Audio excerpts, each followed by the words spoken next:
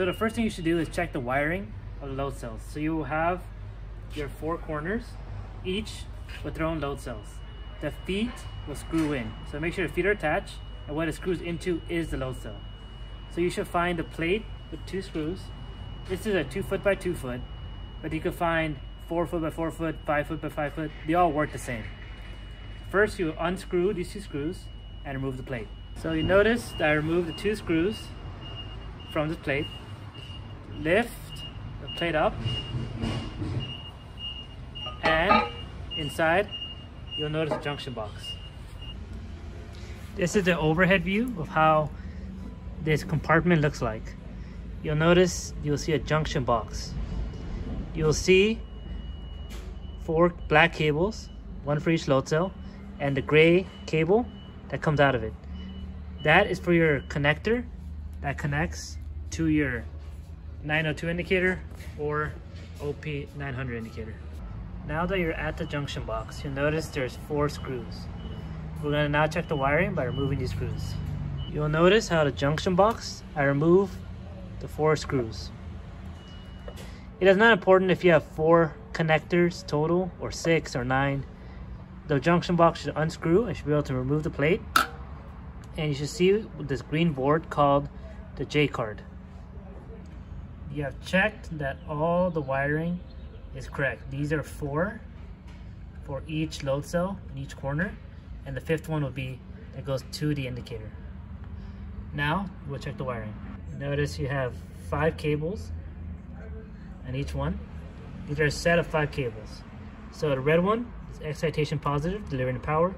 Black is ground. The green cable signal positive. The white cable is the signal negative, and the white, clear, or yellow. In this case, is this one's yellow. This one is white, clear. This would be the shield cable.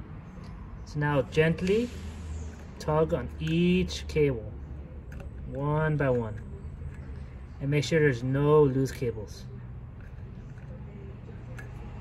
You'll now do this for all four of these. For each corner of the load cell. And this was the home run cable that goes to your indicator. You'll check this one as well and make sure none of these are loose. It'll be the same, excitation positive, black is ground, green signal negative, positive, white is signal negative, and yellow is a shield. If you do notice one of the cables is loose, you will have to get a mini flathead screwdriver and make sure the wire is all the way in, screw in. So this would be an example of a loose cable. This could cause unstable weight. So you gotta make sure it's in the proper slot. This one that says shield. And you plug it in. This is a closer look on the markings on the J card itself.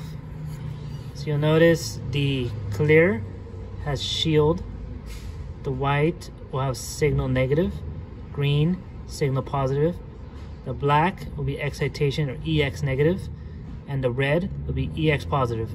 Make sure they're all in the correct order for every single one.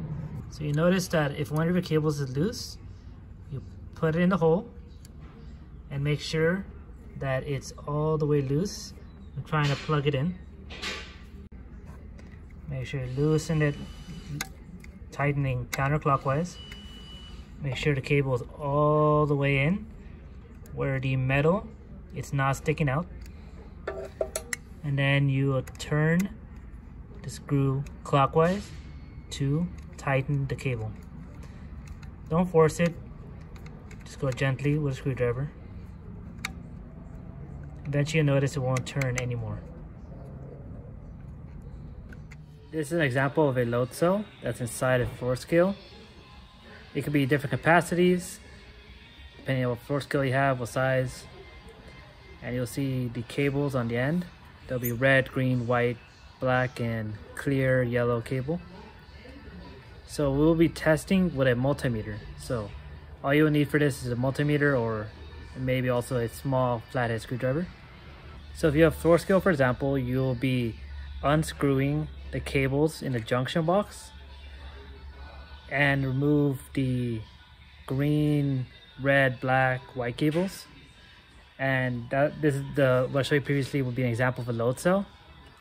So you remove the cables And with your multimeter, you'll now turn it on and set it to ohms resistance.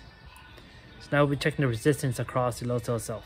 So this is my load cell, I'm gonna put it down, but if you have a floor scale, you will just unscrew the cables, get your green cable, and take one end of your multimeter and hold it against the green cable. This is my green cable. Hold down the green cable and take the other end and put lace it on the red end. And if possible you'll be able to see the current ohm resistance is currently at 292 293 ohms resistance. You should see it as a 292 293 ohms resistance. So now you'll take leave your one end of the multimeter on the green and take the other end and place it on the black and get the reading. So this was at 293 for green to black and previously was from green to red was 293. So if your load cell is less than 5 ohms difference, then your load cell is fine. Certain load cells might be able to tolerate 10 ohms, but once you get past that, you'll notice that your load cell will not be reading correctly. You might have underload or overload. And if you find that this number is very big difference, that it could be shorted and a damaged load cell in your floor scale. Uh, for your floor scale, you'll be testing all load cells, all four in each corner. If you have weigh beams, you'll test each corner as well. And if you have a hanging scale, you only have one load cell test. So you'll do the same test, one end of the multimeter on green, the other end on red, you'll get the ohms resistance. So you have tested the wiring inside the floor scale and there's no loose cables. Now we'll try the corner test. So turn your indicator on and grab a weight.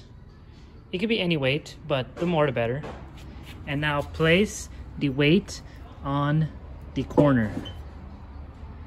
So this is my upper left corner.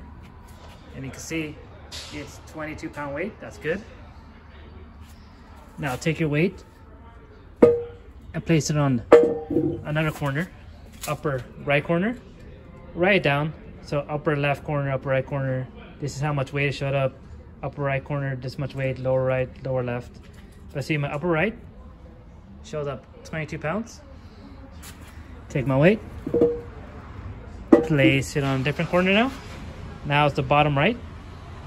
And I see my weight, it's 22 pounds, that's correct and move my weight to the bottom left. And for me, 22 pounds. So this shows that my scale is now reading correctly. I can place the weight in the middle. And the weight is still correct. And I remove the weight, go back to zero. That's good.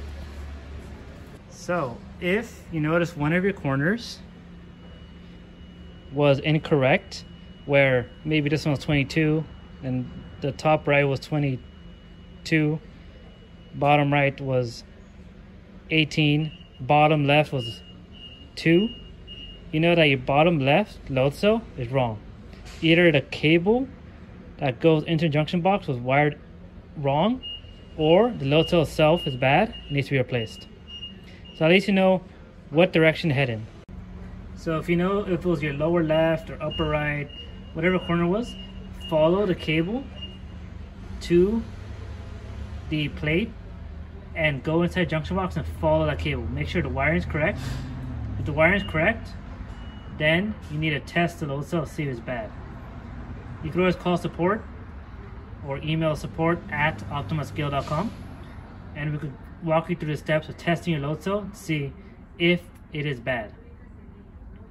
In that case, you just have to replace the load cell and put a new one. This applies to a 2x2 floor scale, 4x4, 5x5. It could be any size. But the floor scale will always act the same with floor load cells in each corner, and the feet will screw in, and all the have a plate where all the wires meet up.